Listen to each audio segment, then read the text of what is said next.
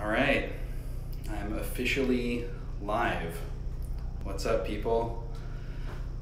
Just gonna give everyone a second to come on.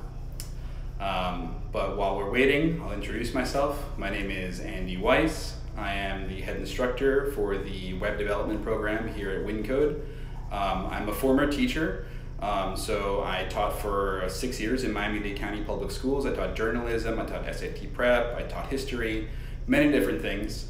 Um, hey, I see some actual current students in the class who are on Facebook Live right now. Stop uh, being on Facebook Live and practice for your final presentations. But hello, everybody. So, at any rate, I'm actually uh, also a former Wyncode student. So, we're uh, graduating cohort 33 tonight, um, and I was a member of cohort 2. So, that was over five years ago. Um, my own story, you know, I'd always sort of thought about uh, learning how to code, never had any experience before, and I'd always thought maybe uh, one summer when I was off teaching, I would head out to California and, and take a coding boot camp. But you know, the costs just seem prohibitive when you think about like how much it costs to do one of these things, and then also how much it costs to like move to California for a summer. Um, so all of which to say, like I saw Wyncode one day, and I just told myself, you know what, uh, it's kind of meant to be. Um, it's it's right around the corner from me here in Miami. So I, I jumped, and, and the rest is history, right? So um, after I graduated, I worked my way up to becoming the lead engineer at an ed tech startup where I could really marry my like love for education uh, with the tech that I learned at Wyncode. Um, and so I did that for, for four years, and now I'm been the head instructor here at Wyncode at the web dev program for over a year. So tonight's kind of a, a cool, special night for us. It's our pitch night. Um, this is where our, our students present the work that they've been working on in our class for the last 10 weeks and they've been building final projects for the last uh, about two and a half weeks now. So if, uh, if anyone is uh, anywhere near the CIC, I invite you guys to all come out tonight at 6.30. It's over on 20th Street and 7th Avenue. We have uh, final projects where people can find electrical electric vehicle charging stations near you. Uh, we can do recipes, learn to invest, find gyms, predict the weather on mountain biking trails, and teach each other lessons. So these are all cool examples of projects that students can build in our program. So I want to talk to you a little bit about the schedule, uh, what it would be like as a Wyncode student here. So every day we have both a morning lecture and an afternoon lecture. And in between those two lecture blocks, we have something called stand-ups. And stand-ups is a concept that we borrowed out of you know, just the programming industry in general. The idea is that everyone has a very brief meeting. In fact, uh, the meeting has to be brief because we make everyone stand up, right? And so the whole idea is you talk about what you're working on and if there are any blockers um, to your learning, or if this is industry, it's sort of like you know what you're working on, and we help unblock each other really quickly in between the morning lecture block and the afternoon lecture block to make sure that everyone's up to date as much as possible. Um, after the two lecture blocks are over, and you know, there's, I would say roughly there's maybe you know four, four and a half hours of lecture from me on a given day. Um, the afternoon blocks vary from day to day. So on Mondays, generally there's like a weekly coding challenge where we try to assess whatever was taught in the previous week, and it's a good way for me to know, you know, if the students got it or if we need to revisit something on a given day. Um, we have challenges that are intended to sort of mimic uh, the kinds of code challenges that you might get if you're applying for a job. And then we review those code challenges with uh, the various students like on the Tuesday, Wednesday, Thursday of the week. So after your lectures are over, on Mondays you do your, your weekly coding challenge, and then on the subsequent days, typically what happens is that you're reviewing your submission with an instructor. And then Friday we do something called retrospectives, which is also borrowed from industry, where the students can talk about like what went well over the course of the week and any suggestions that they have or things that can be improved. So we try to be super transparent with the daily stand-ups as well as the weekly retrospectives, which are good programming practices out of industry that we, we borrow and we use here at Wyncode. Um, you know, there's also in the afternoon blocks, there's often guest lecturers. Students learn about project management and how things are built in an agile way. We do collaboration sessions with the other programs that we have, specifically our UX UI program. And then we give job support and lectures on the various soft skills. There also are very commonly hackathons or other group activities that are meant for the students to code together on a given topic. Um, and then the afternoons and evenings, there's homework and there's TA support uh, until 9 p.m. most nights, and there's weekend projects as well. So in a 10 week uh, cycle, you are sort of expected to commit to uh, a very intense experience. But just like exercise is the kind of thing where you get out of it whatever you put into it, and we have a very, very dedicated crop of students at Wyncode every single time. I'm always impressed with the effort that they put forth, and I think that the numbers speak for themselves because you know 90 plus percent of our students are finding jobs in industry when they're out of here. That's really, really nice. So I could talk a little bit about sort of like what's taught from week to week. Uh, the first week is intended to be just an introduction to web development in general and sort of the basic tools of the trade, right? So the first thing they learn is how to work the terminal or the command line of their computers to just sort of uh, have a deeper connection with the internal workings of the machine um, rather than just clicking on things through the graphical user interface. You have to start getting used to typing commands and, and making the machine do what it is that you want. Um, we also talk in the first week about HTML and CSS. And here I'm going to borrow a metaphor that a former student of mine uh, made over the years. Um, so shout out to Dixie. Um, so HTML is typically thought of as the nouns, like what are the items that are on the page. And then CSS can be thought of as the adjectives that describes like, oh, like this image is going to be like 300 pixels wide, or this text is going to be big, or this is going to have a red background. Um, and these are just sort of the basics of like the static web, right? Like when you're building a web page, whether it's for a small business or, or you just want to communicate some information to the world, typically what you're doing is, do, is you're, you're presenting that information through HTML and CSS. Now this is information that's covered in our pre-work, um, so a lot of it is technically a review, but we do move very quickly in this course, and so it's really helpful to have seen this information before. Um, I think honestly, the number one predictor of success in our program is how much uh, the pre-work that a student has completed and how diligently they did that work. And so we, um, we, we just we, we really want to hammer home the idea that um, even though this stuff is basic and you've probably seen it before, um, if you have a strong foundation of it early in the in the cohort, it puts you in a great position to be successful later in the cohort. Um, so weeks two and three are dedicated to JavaScript, which is sort of the third uh, like leg of this stool if you're thinking about what's necessary to build an interactive web page. Um, so to follow on Dixie's metaphor, if HTML are the nouns and the things that are on the page and CSS are the adjectives that describe how they should look, JavaScript are basically the verbs that, that give you interactivity. So when a user clicks some button, something should happen. When a user submits a form, some there should be some sort of response. Um, if a user is like typing in a search bar, the result should filter in some way. All this is generally speaking uh, achieved through JavaScript, and so we have to get uh, early in the process acquainted with the fundamentals of the language. So things like data types, what's a string, what's a number, what's an object, things like control flow. You've probably heard of like if else statements or loops and functions. I, I call this basically like eating your vegetables, right? Like you need to uh, just get acquainted with the tools of the trade. Um, it's not really fun necessarily, but you need to know it in order to build cool things later. Um, it's it, in many ways it's similar to what's taught in Codecademy, but we have a lot of students who come to our program who've done Codecademy before, and they say that like they find themselves mired in these very fundamental lessons of like you know if else and strings and numbers. They don't understand why it is that they're learning these things, and that's what we try to build upon, and that's what we try to deliver in the in-person bootcamp experience. So as much as possible, when we're teaching you about like what is an object or what is an array, we try to pair it with some project-based learning so you can see how these things are directly applied to making a web page interactive very early in the process. So you don't get frustrated just sort of completing exercises independently in a vacuum, not understanding how they fit into the bigger picture.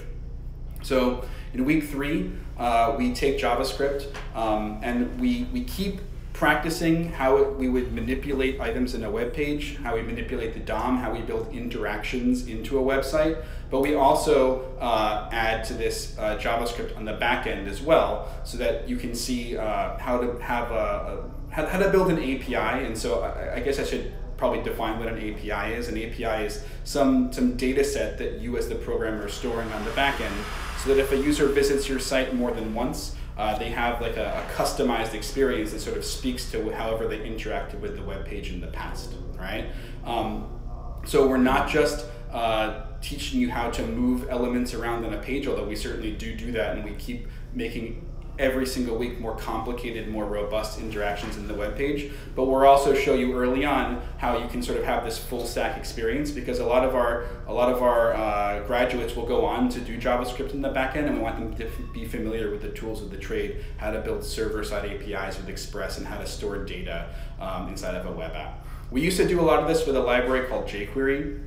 For many years it was very very popular um, but we really do make an effort to stay current with the trends in the industry. And so we want our students to have a really strong experience with the fundamentals of javascript so that when they go on to use the more cutting edge more modern libraries like react they understand sort of how at the end of the day what they're writing is just javascript and so we've, we've excised jQuery from the curriculum in an effort to stay up to date with trends. And it's really awesome that we get to develop our own curriculum here at Wyncode, and we can do it like in tight collaboration with our hiring partners, and they can tell us what they're using every day, and we can try to build a curriculum that better prepares them for industry.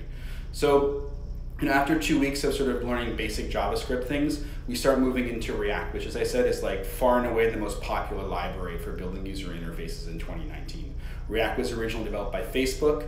Uh, you know, for a number of years, there was a lot of divergence in the front end ecosystem, right? So, you know, you would have many pages were built in jQuery, many pages were built in Angular, other pages were built in React, other pages were built with Angular JS or Ember, or any number of a very a host of popular libraries.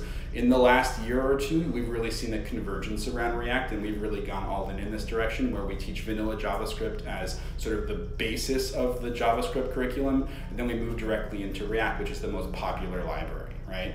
Um, React is moving very, very quickly. Um, in the last six months alone, there have been a ton of new features that have been introduced into React. Things like hooks, things like content, context rather, and suspense. And so like we're really proud that we're making real efforts to stay up to date with this information. In fact, I'll be teaching an event here for alumni of our program on June 26th where we'll be unveiling some new material um, that incorporates a lot of these changes that Facebook has made to React.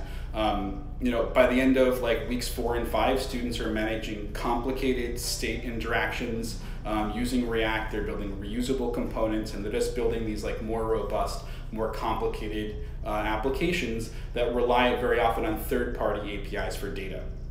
So as I said before, um, you know, basically an API is some third-party data set that programmers open up so that our developers can build on top of them.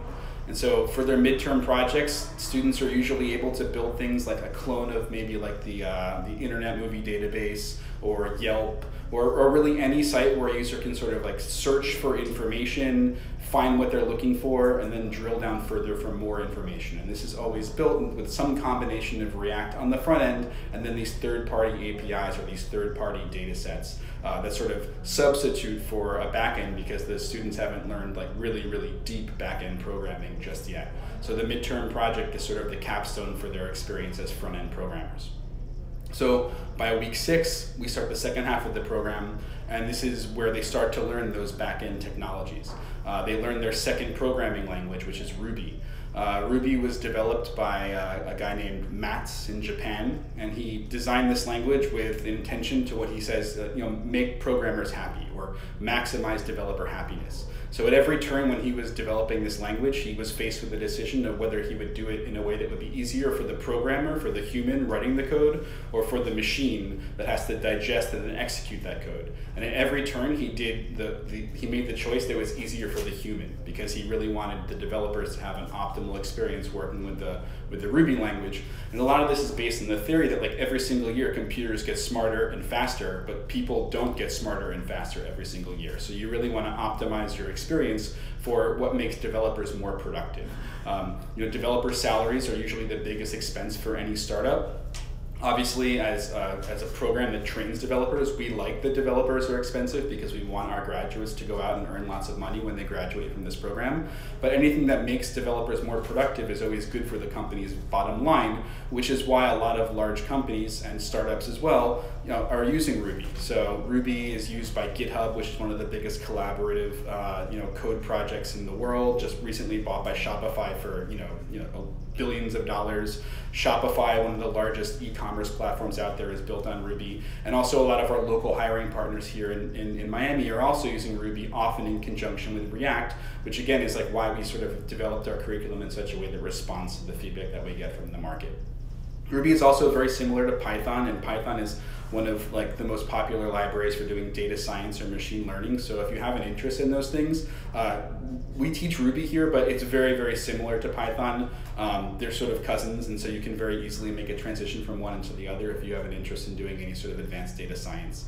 Um, you know, but either way you look at it, we really believe that it's a great idea for students to learn multiple languages, even though they're only here for 10 weeks. You know, languages come and go. There will always be a new popular language on the on the market, and we want our students to think like programmers in like multiple ways from multiple paradigms rather than just memorizing syntax. We want our students to like have a, a general approach to a problem if, uh, if all you have is a hammer, then everything looks like a nail. But if you have multiple languages in your tool set, you can choose the right tool for any job that you have in front of you.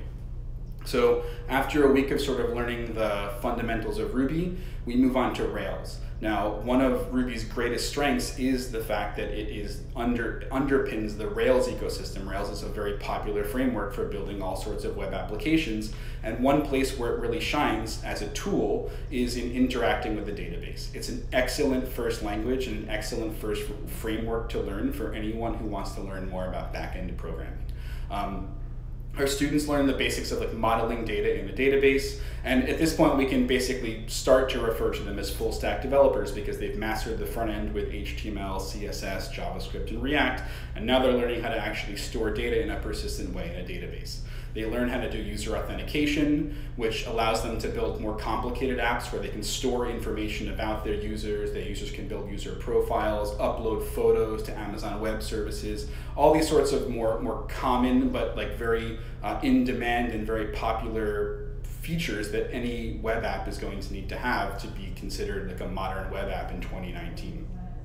In week seven, the students start thinking about their final projects, and basically we have people uh, per, uh, like work in a process very similar to like a Shark Tank where you're pitching an idea. We call it Wind Tank, right? And so the students pitch their final project ideas. A lot of times they're working in collaboration with the UI or the UX students, uh, which is the sister program that we have here to our web development program. And then we put them through a process or through an exercise where they have to submit wireframes or like mock-ups for their final project idea. And they also have to submit databases of how they think that the di sorry, diagrams of how they think that their databases will act because we want them to be working on top of a really solid foundation when they are going deep and then like really working long days and evenings on their final projects um, once they get going we try to model like all the best practices from industry for, with Git and GitHub, where people have a, a, a, very strict workflow where they have to go through, where before you do any work, you have to open an issue, you have to declare what is the code that you're about to write, you make something called a user story, which is very popular in industry. Students have to submit their code via something called a pull request, which is basically you're requesting a more experienced developer to review your code, and you have to make sure that all of your code is well tested before it gets merged into the final project.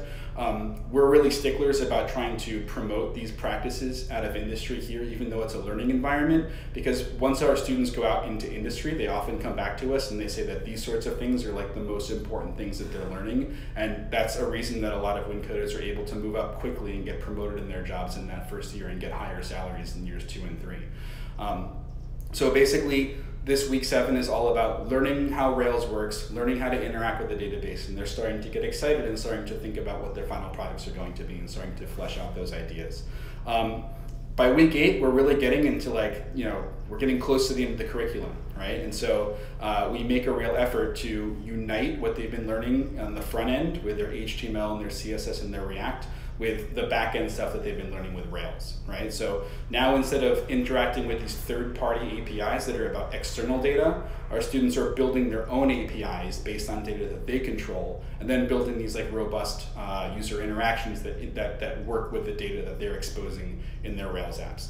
So we do things like you know how to send email through an application, how to do geolocation, how to work with dates and times, which is a very hard problem in computer programming. Often they build these interactive, uh, you know, reactive calendars uh, where the page never has to refresh, but they're pulling data from a from an API that they've built themselves.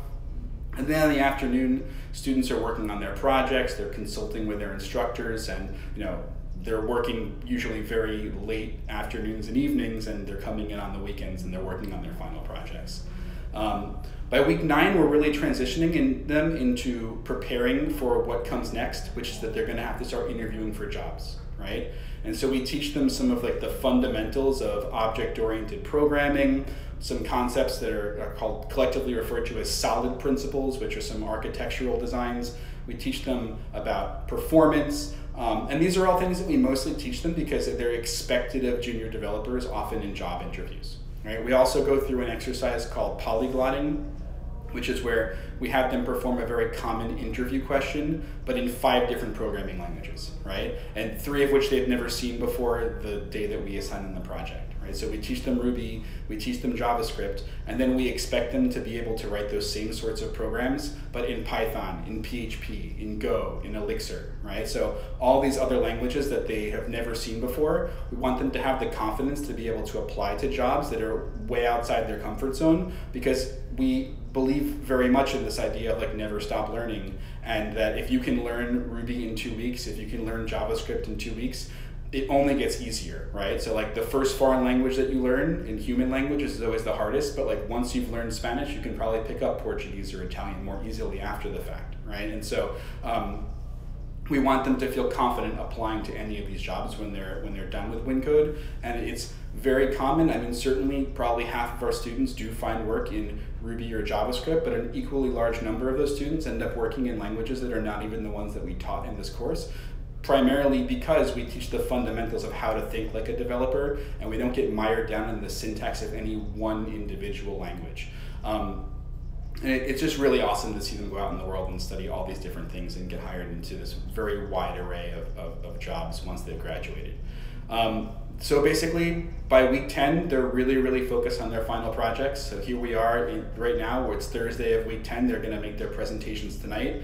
The students are usually spending this week like racing to fit whatever final features they can into their final projects. Um, they're practicing their presentation skills.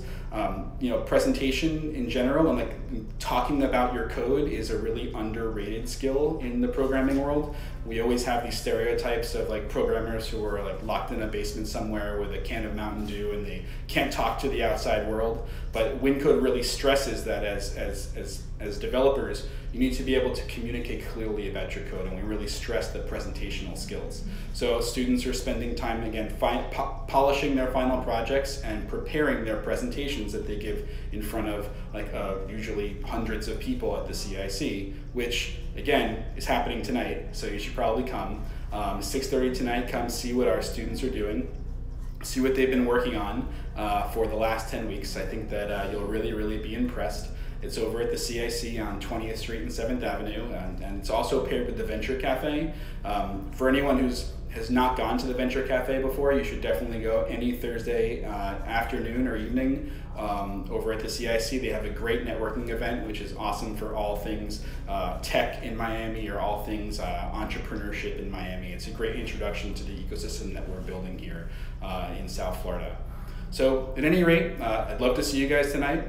Um, if you have any questions at all, um, or you know if there's anything that I can be helpful with, don't hesitate to email me. Uh, I'm Andy Weiss at wyncode.co. Or if you have admission specific uh, questions, if you're interested, um, or if you want to take a tour, um, send an email out to admissions at wyncode.co, and we'd love to see you here on campus. So. Um, this has been really fun. It's my first FaceTime, Facebook Live. And I uh, hope to do this again. But everyone, have a wonderful day. Hope to see you guys tonight.